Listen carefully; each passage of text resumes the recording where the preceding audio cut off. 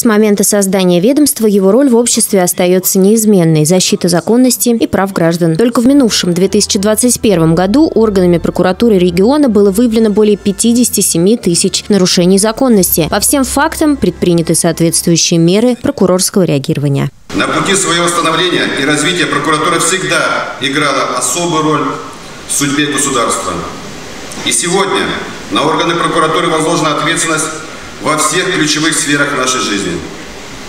От профессионализма каждого из нас, готовности оперативно реагировать на нарушение закона зависит судьба граждан и единство страны. На торжественном мероприятии присутствовали представители чиновничьего аппарата.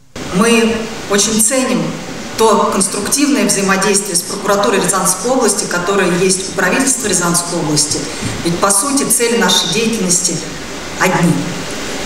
В этот праздничный день мне бы хотелось пожелать вам встречаться меньше с преступниками и теми, кто нарушает закон, и чтобы в вашей обычной жизни было побольше хороших событий и хороших людей. 37 работникам органов прокуратуры региона были присвоены ведомственные награды, нагрудные знаки «Почетный работник прокуратуры Российской Федерации», а также отличительные знаки имени Ягужинского. Марина Романюк, Михаил Лазуткин, телекомпания «Город».